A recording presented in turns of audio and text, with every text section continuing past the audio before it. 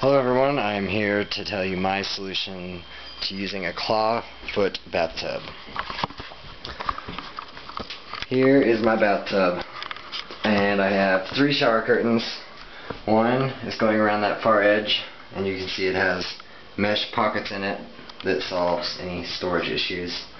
And then I have this closest one goes along this side and then I have this third one right here, which is a flap that covers the gap, like so. And what I did is I cut the shower curtains right around the edge. It's hard to see here because they're white and clear, but that's the point.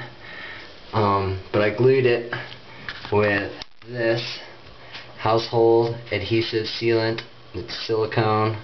Um, sell it at Home Depot. Um, I got the one that was safe for aquariums. I figure safe for fish, safe for me. Um, yep, glued it all the way along the edge. It's tight so that when the hot air comes in and creates a suction, the shower curtains will not suck in on you. We have the pockets in here, and then we have the flap in the back that is keeping the water from going out the gap because as you can see once the curtains are glued around the edge there's a big gap that needs to be covered because they're not long enough.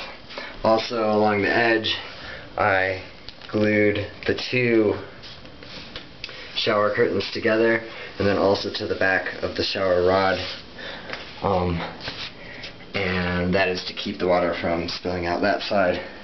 So you don't have any sliding action on your shower curtain, but you do have a nice size shower considering you have to use an old school shower tub uh, that's been converted.